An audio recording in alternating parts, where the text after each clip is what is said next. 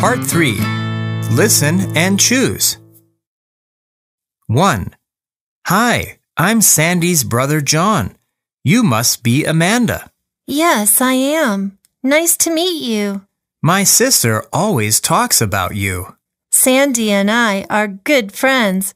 She is always there for me. Question Who is Amanda? Hi, I'm Sandy's brother John. You must be Amanda. Yes, I am. Nice to meet you. My sister always talks about you. Sandy and I are good friends. She is always there for me. Question Who is Amanda? 2. This chocolate cake is for Jenny. Where is she? She is jumping rope outside. By the way, she doesn't like chocolate. Oh, that's too bad. Do you like chocolate? You bet. I can have it. Question What do we know about Jenny?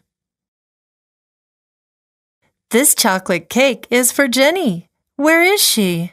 She is jumping rope outside. By the way, she doesn't like chocolate.